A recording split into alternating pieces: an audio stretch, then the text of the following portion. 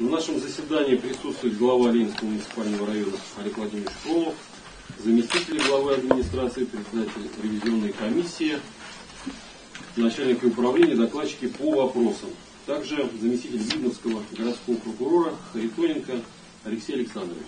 Поправки в ранее принятое решение Совета депутатов относительно бюджета муниципалитета и внесение поправок в положение о бюджетном процессе озвучила начальник финансового управления администрации Ленинского района Татьяна Макушкина.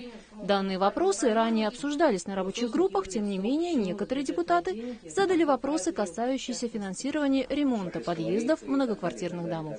Может быть, есть смысл, э, если этот э, адрес не попал в перечень, либо включить его, либо это сделать каким-то более срочным вариантом, попросить э, ЖКХ или там управление или э, управляющей компании. Глава района разъяснил, что список объектов, которые будут ремонтироваться предварительно и находятся в доработке. После прений изменения в бюджете были приняты. Заместитель главы администрации Ленинского района Сергей Куканов сделал доклад об внесении изменений в положение, касающиеся передачи в социальный наем и продажи физическим лицам жилья, находящегося в их пользовании.